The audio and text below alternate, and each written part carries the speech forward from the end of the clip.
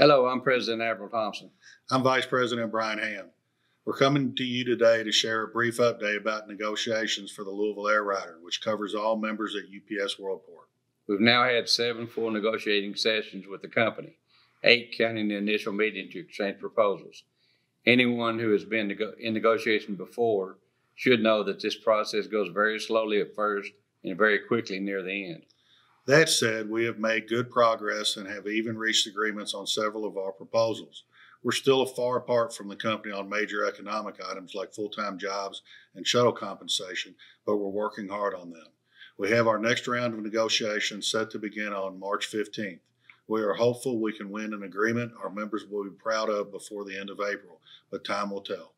In the upcoming weeks, you will see us at the gates to share information and participate in the National Pledge Card signing campaign.